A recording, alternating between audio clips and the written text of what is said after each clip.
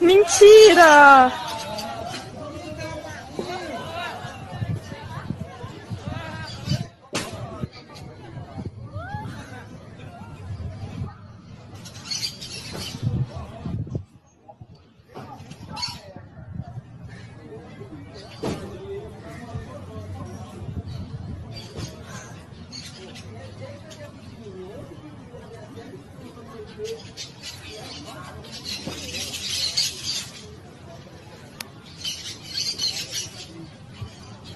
Tá muito gostoso esse carinho, essa massagem.